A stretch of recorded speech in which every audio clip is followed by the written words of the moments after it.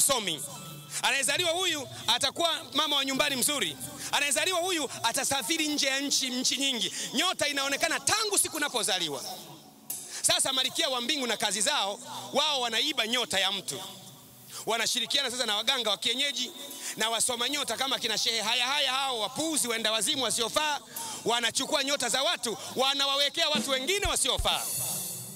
Ndiyo huyo sasa malikia wa mbingu. Ukiwapiga malikia wa mbingu, maana yake nyota yako inarudi. Utaanza kuona kuna vitu fulani fulani vya maisha yako ambavyo zamani vilikuwa vinapiga chenga, vinaanza kunyoka.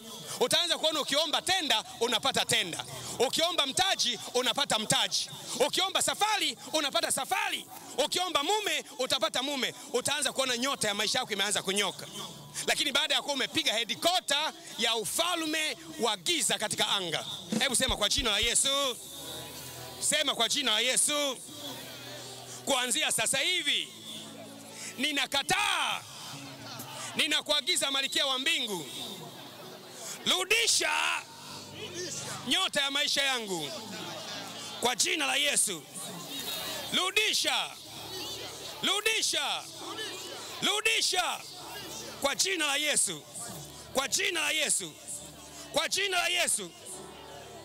Kwa hakika yako kuna mumeo amewekwa mahali fulani kwenye anga. Ndiyo maana kila ukichumbiwa mume huyu anakimbia. Mume wako amewekwa mahali fulani kwenye anga. Hakika yako kuna mtoto wako amewekwa mahali fulani kwenye anga. Ndiyo maana ukitunga mimba, mimba zinapotea. Kuna biashara yako imehifadhiwa mahali fulani kwenye anga. Ndiyo maana ukianza biashara, mtaji unaharibika au unaibiwa. Kuna kazi yako imewekwa mahali fulani kwenye ulimwengu wa roho. Ndiyo maana ukianza kazi, mara unafukuzwa, mara unaibiwa. Sasa leo ujipiganie mwenyewe, kila mtu aamue mwenyewe, uamue kuelekeza kwenye ulimwengu wa roho, useme leo sitakubali, leo nasimama mwenyewe, leo sitakubali, leo sitakubali, sitakubali, sitakubali na kuamuru simama kwa jina la Yesu.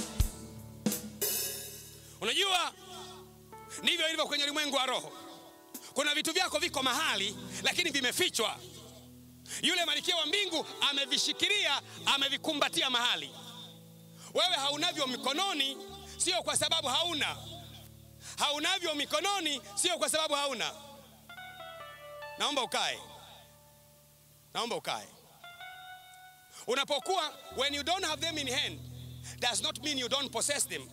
You don't have them in hand because someone in the spiritual realm possesses what is yours. Kuna ulimwengu wa roho. Nikuulize swali, Mungu yupo? Jibu ni naam. Umewahi kumwona? Hujawahi kumwona? Shetani yupo? Ndiyo, ni yupo. Umewahi kumwona? Hujawahi kumwona? Majini yapo? Yapo. Umewahi kuyaona? Hujawahi kuyaona? Hujawahi kuwaona kwa sababu wao wanatenda kazi kwenye ulimwengu usioweza kuonekana kwa mwili.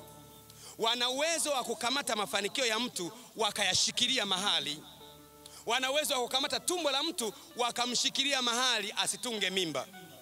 Lakini akienda hospitali watamwambia ama tubu zako zina matatizo, ama uterus zina matatizo, ama hormones zina matatizo, ama si inakuwa hivi, lakini amehifadhiwa kwenye ulimwengu wa roho. Unaweza ukaenda waganga kwa waganga, unaweza ukaenda hospitali kwa hospitali, usipate ufumbuzi, kwa sababu baraka zimetunzwa kwenye ulimwengu wa roho, umehifadhiwa. Lazima wewe sasa utumie jina la Yesu. Yesu aliwaambia wanafunzi wake kwamba lolote mtakalolifunga duniani litakuwa limefungwa na mbinguni.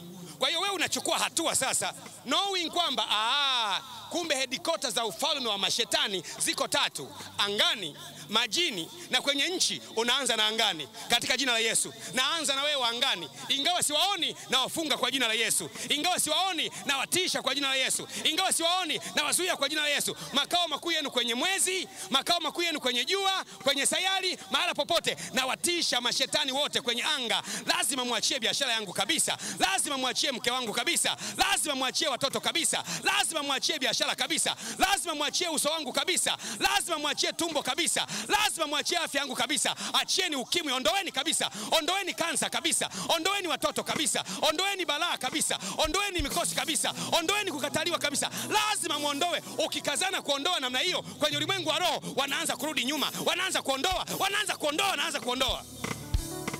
Lazima waondoe kwa jina la Yesu. It depends on what you do. If you act politely you're gonna have a terrible answer. Lakini lazima usimame kama askari, usiseme jamani, nimeomba sana. Aa, kuomba ni mara kwa mara. Uliwahi kuomba bila maarifa, labda ulikuwa unasema tu shetani na kufunga, shetani na kushinda. Sasa unaongezea maarifa mengine, unajua aha, kuna wengine angani. mi nilikuwa nasema tu shetani, sasa nafunga anga lote, unaliamrisha anga lote. Kila ukisema jambo lazima liwe